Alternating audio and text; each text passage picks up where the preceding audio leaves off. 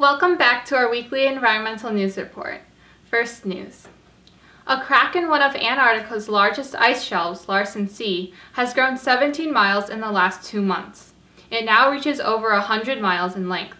Scientists are concerned that the stability of the whole ice shelf will be threatened once the crack reaches across the shelf and breaks off within a few months.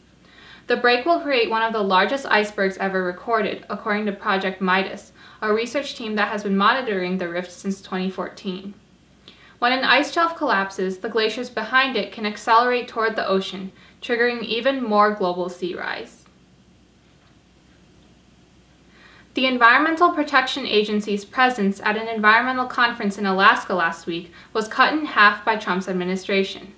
Days before the Alaska Forum on the Environment, it was reported that half of the EPA's 34 attendees wouldn't be coming. This year, agency officials were scheduled to take part in about 30 sessions on issues such as drinking water, sanitation in rural Alaska, and climate change adaptation. Although EPA transition official Doug Ericksen said the decision to cut back was an effort to limit excessive travel costs, many forum leaders worry this might be a sign of broader budget cuts to come. Last week, UPS announced it will invest $18 million in on-site solar installations, beginning with eight of its U.S. facilities. This renewable energy expansion project will add 10 megawatts of solar capacity by the end of this year, increasing UPS's on-site production by 500%. UPS's huge presence on the ground across the U.S. gives the company an opportunity to increase its energy efficiency, especially as online shipping continues to increase in popularity and as the company opens up more distribution centers and warehouses. Construction has begun on Asia's first vertical forest in Nanjing, China, called the Nanjing Green Towers, designed by Italian firm Stefano Boeri Architetti. Two green towers will stand over the city, covered in over 1,100 trees and 2,500 cascading plants. The forest will be built with alternating levels of green tanks and balconies, and will soak up urban air pollution, produce clean oxygen, and boost local biodiversity.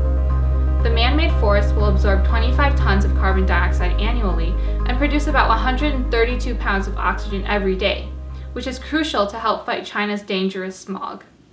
The project is expected to be completed in 2018. The United Kingdom's parks are at a tipping point of decline due to steep budget cuts. Over 92% of park budgets have been cut by local authorities.